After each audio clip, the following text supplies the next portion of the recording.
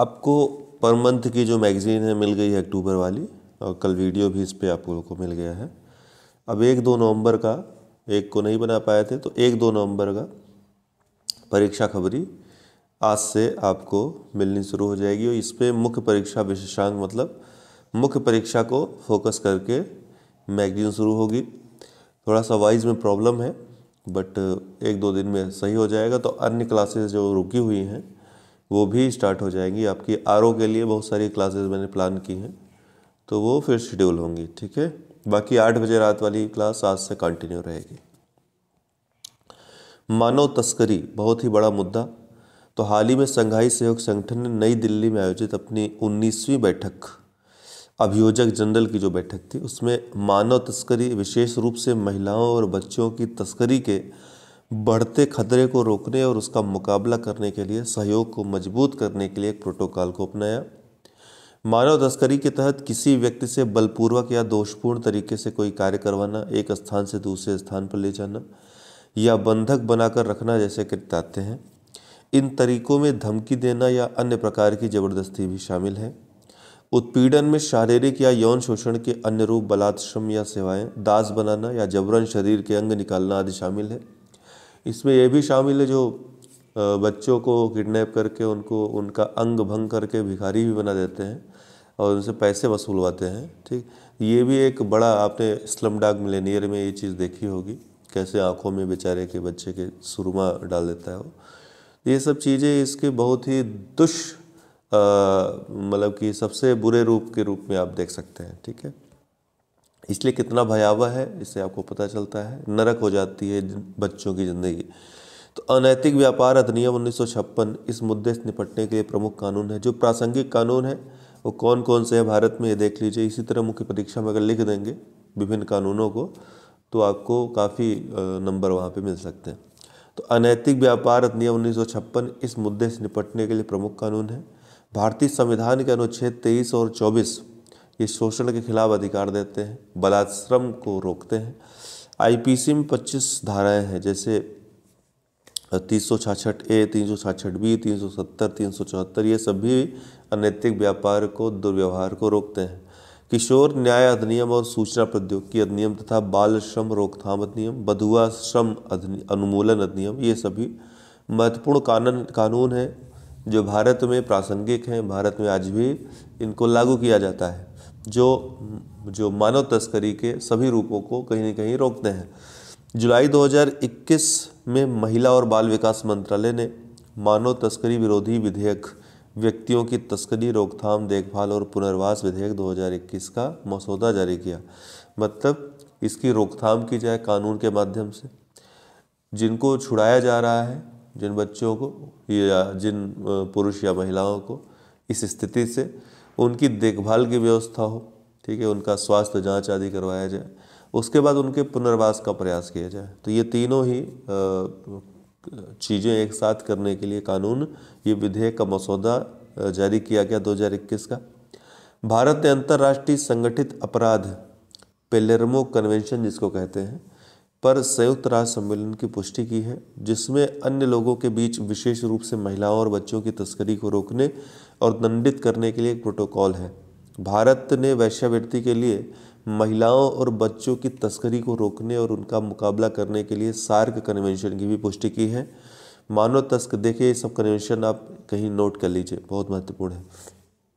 हम डेली के परीक्षा खबरी के जो करंट अफेयर्स के ये हमारे पीडीएफ हैं, इनको हम daily Jai Ho study Telegram group पे शेयर करते जाएँगे। आप लोग मुख्य परीक्षा देने वाले, इसको ज़रूर बार बार रिवाइज कर लें, क्योंकि बहुत महत्वपूर्ण ये टॉपिक्स हैं जो आपकी परीक्षा में पूछे जाएँगे। जिन्होंने ग्रुप ज्वाइन न किया हो टेलीग्राम ग्रुप का लिंक नीचे डिस्क्रिप्शन बॉक्स में दिया है ज्वाइन कर सकते हैं। तो मानव तस्करी के अपराध से निपटने के लिए राज्य सरकारों द्वारा विभिन्न निर्णयों को संप्रेषित करने और अनुवर्ती कार्रवाई के लिए गृह मंत्रालय में वर्ष 2006 में एंटी ट्रैफिकिंग नोडल सेवा, सेल की स्थापना की गई थी। कब? 2006 में। न्यायिक संगोष्ठी। निचली अदालत के न्यायिक अधिकारियों को प्रशिक्षित और संवेदनशील बनाने के लिए मानव तस्करी पर न्यायिक संगोष्ठी उच्च न्यायालय स्तर पर आयोजित की जाती है। ध्यान रखिएगा। गृह मंत्रालय ने प्रशिक्षण और क्षमता निर्माण के माध्यम से व्यक्तियों की तस्करी के विरुद्ध भारत में कानून प्रवर्तन प्रक्रिया को मज़बूत करने की एक व्यापक योजना के तहत देश के 270 जिलों में मानव तस्करी विरोधी इकाइयों की स्थापना के लिए फंड जारी किया है। उज्ज्वला योजना वर्ष 2007 में बच्चों और महिलाओं की तस्करी को समाप्त करने के लिए शुरू की गई थी। ये उज्ज्वला योजना दूसरी है, ध्यान रखिएगा। वो गैस वाली नहीं है। इस योजना का उद्देश्य यौन शोषण के लिए तस्करी को रोकना बचाव पुनर्वास और उन्हें स्वदेश भेजना है। स्वाधार गृह योजना इसी तरह की योजना है। सखी योजना जो स्वाधार गृह योजना है ये जो बुरी परिस्थिति में रह रही महिलाएँ हैं, गंभीर परिस्थिति में तो उनको उनकी सहायता करने के लिए है। सखी महिला हेल्पलाइन का सार्वभौमिकीकरण। इसी तरह आप देख सकते हैं, रेलवे ने सहेली नामक कार्यक्रम आरपीएफ, जो रेलवे प्रोटेक्शन फोर्स है चलाया है, महिलाओं की सहायता के लिए, ताकि ट्रेन में कोई उनके साथ उत्पीड़न न हो। जैसे विभिन्न पहले हिंसा से प्रभावित महिलाओं की चिंताओं को दूर करने के लिए सहायक संस्थागत ढांचे और तंत्र प्रदान करती है। ठीक है? आए व्यक्तिगत डेटा संरक्षण कानून 2019 काफ़ी चर्चा में रहा, व्यक्तिगत डेटा संरक्षण कानून। चर्चा में क्यों रहा? क्योंकि भारतीय विशिष्ट पहचान प्राधिकरण ने यू ने व्यक्तिगत डेटा संरक्षण से छूट की मांग की है। तो ये कानून जो है, उससे छूट की मांग की है। निजी डेटा संरक्षण विधेयक है क्या? क्यों इससे छूट की मांग की है? तो इस विधेयक की उत्पत्ति का स्रोत न्यायमूर्ति बी एन कृष्णा की अध्यक्षता में गठित एक विशेषज्ञ समिति की रिपोर्ट थी। निस्ता के अधिकार संबंधी मामले, जिसको कि जस्टिस के एस पुत्तासामी भारत बना, बनाम भारत संघवाद में निष्ठा के अधिकार को मूल अधिकार घोषित कर दिया गया था।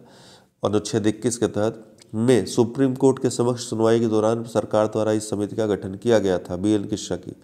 यह विधेयक सरकार को विदेशों से कुछ प्रकार के व्यक्तिगत डेटा के हस्तांतरण को अधिकृत करने की शक्ति देता है और सरकारी एजेंसियों को नागरिकों के व्यक्तिगत डेटा एकत्र करने की अनुमति देता है।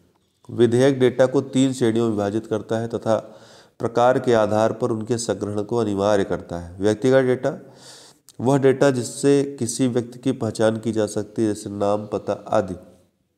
संवेदनशील व्यक्तिगत डेटा, कुछ प्रकार के व्यक्तिगत डेटा जैसे वित्तीय, स्वास्थ्य, यौन अभिन्यास बायोमेट्रिक, आनुवांशिक, ट्रांसजेंडर स्थिति, जाति, धार्मिक, विश्वास और अन्य श्रेणी इसमें शामिल हैं। महत्वपूर्ण व्यक्तिगत डेटा कोई भी वस्तु जिसे सरकार किसी भी समय महत्वपूर्ण मान सकती है, जैसे सैन्य या राष्ट्रीय सुरक्षा डेटा। तो तीन श्रेणियों में बांटा सरकार ने, व्यक्तिगत डेटा, संवेदनशील व्यक्तिगत डेटा और महत्वपूर्ण व्यक्तिगत डेटा। इनमें कौन कौन से आते हैं, ध्यान रखिएगा। अन्य प्रमुख प्रावधान क्या था? डेटा स्वामी। विधेयक के अनुसार डेटा स्वामी या डाटा प्रिंसिपल वह व्यक्ति है जिसका डेटा संग्रहित और संसाधित किया जा सकता है, किया जा रहा है। सोशल मीडिया कंपनियाँ क्या है? जिन सोशल मीडिया कंपनियों को डेटा की मात्रा और संवेदनशीलता के साथ साथ उनके कारोबार जैसे कारकों के आधार पर महत्वपूर्ण डेटा न्यासी माना जाता है, उन्हें अपना स्वयं का उपयोगकर्ता सत्यापन तंत्र विकसित करना होगा। जैसे जैसे फेसबुक हो गया व्हाट्सअप हो गया तो आपने जो भी अपना लॉगिन करते वक्त जब फेसबुक आप अकाउंट बनाएँगे तो अपना नाम वगैरह जो भी उसमें डाटा देते हो, कहने का मतलब कि आपका डाटा ये संग्रहित करना उस कंपनी का कंपनी के लिए उपयोगिता सत्यापन तंत्र विकसित करना होगा। मतलब सत्यापन करके ही आपसे डेटा मांग कर जो कुछ व्यक्तिगत डेटा है, उनका कैटेगरी डिसाइड कर दी गई है कि वो व्यक्तिगत डेटा मांगने के बाद ही वो आपको एंट्री दें। आपका अकाउंट ओके करें। एक स्वतंत्र नियामक डेटा प्रोटेक्शन एजेंसी द्वारा आकलन और ऑडिट की देखरेख की जाएगी। प्रत्येक कंपनी में एक डेटा संरक्षण अधिकारी होगा जो लेखा, परीक्षा, शिकायत निवारण, रिकॉर्डिंग रख रखाव और अधिक के लिए डीपीए के साथ संपर्क करेगा। विधेयक के अंतर्गत व्यक्तियों को डेटा पोर्टेबिलिटी का अधिकार और अपने स्वयं के डेटा तक पहुँचने और स्थानांतरित करने के अधिकार भी प्रदान किए गए हैं। भुलाए जाने का अधिकार तो इस अधिकार के तहत किसी व्यक्ति को डेटा संग्रह और उसके प्रकाशित करने के संबंध में सहमति को हटाने की अनुमति दी गई है। तो अगर आपने ओके कर दिया है, सहमति दी है, अलाउ कर दिया है तो उसको हटाने की भी अनुमति दी जाएगी।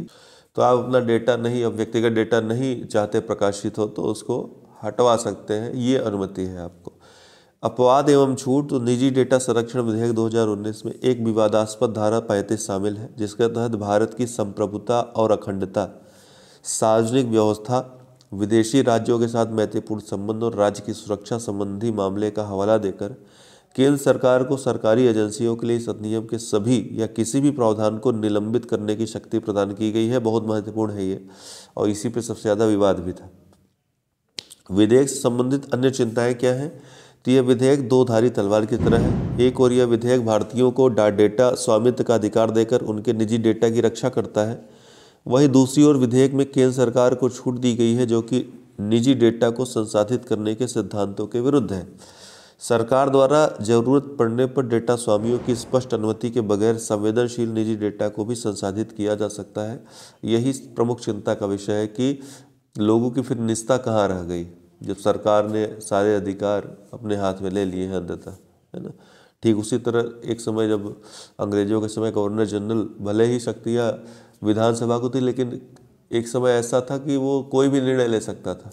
तो यहाँ भी वही है। तो विभिन्न आधार जो दिए हैं, केंद्र सरकार उन आधारों का हवाला दे करके डेटा को संग्रहित या डेटा को आपके जानकारी ले सकती है, संसाधित कर सकती है। इलेक्ट्रिक वाहन भविष्य का परिवहन।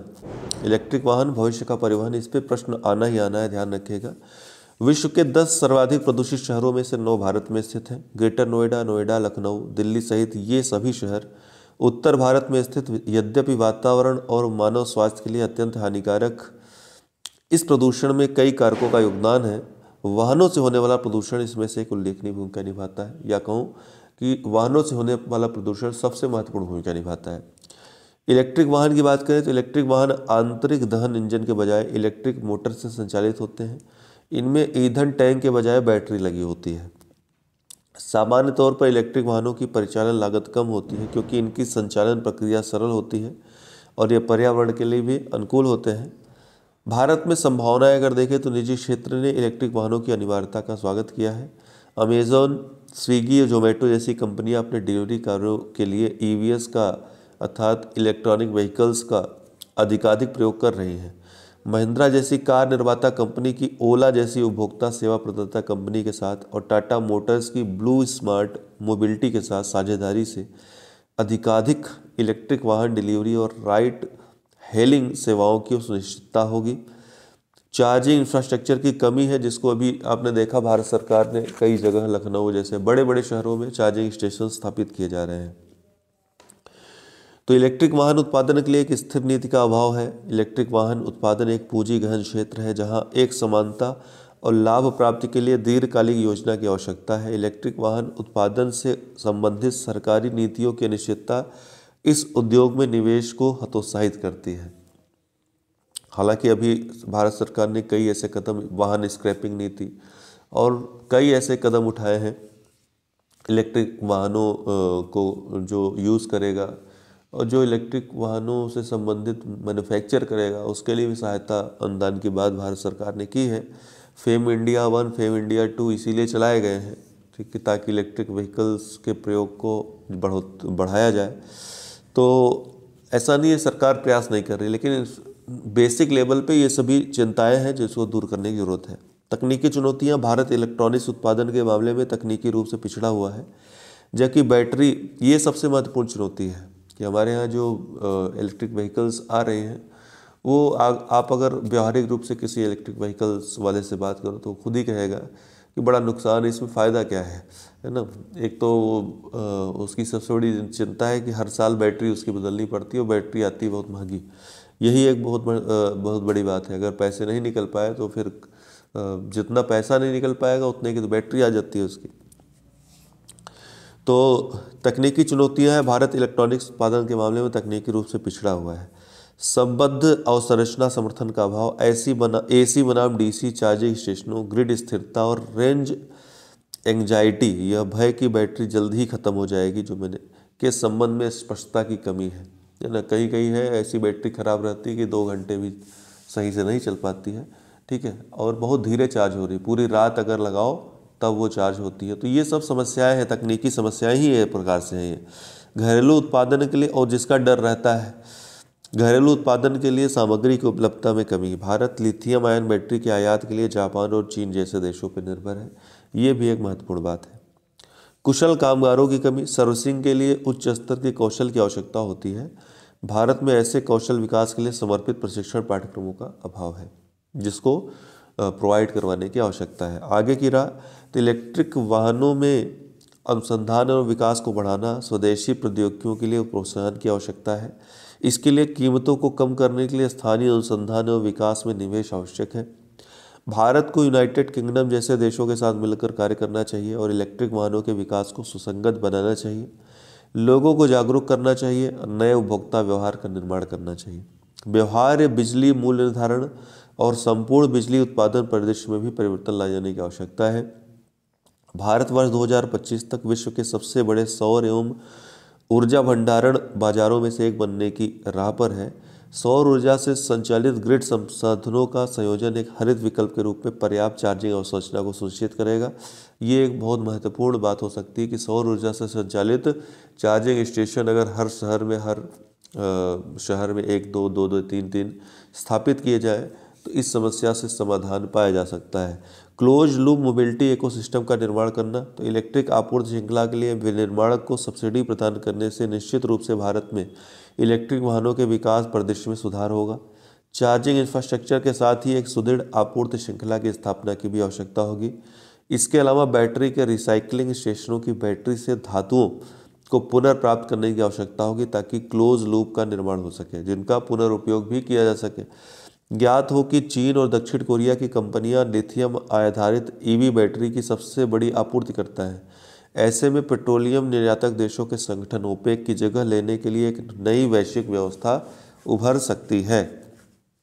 बेहतर चार्जिंग अवसंरचना की बात करें, बैटरी निर्माण फैक्ट्रियों की बात करें और कार कंपनियों एवं उपभोक्ताओं को इलेक्ट्रिक अपनाने के लिए स्मार्ट प्रोत्साहन प्रदान करने के साथ साथ भारत को इस नई व्यवस्था में अपना उपयुक्त स्थान प्राप्त करने के लिए योजना तैयार करनी होगी। डेली करंट क्विज देख लेते हैं। तो एनसीआरबी की एक रिपोर्ट के अनुसार देश में हर रोज कितने बच्चे खुदकुशी कर रहे हैं? इकतीस बच्चे हर रोज खुदकुशी कर रहे हैं, ठीक?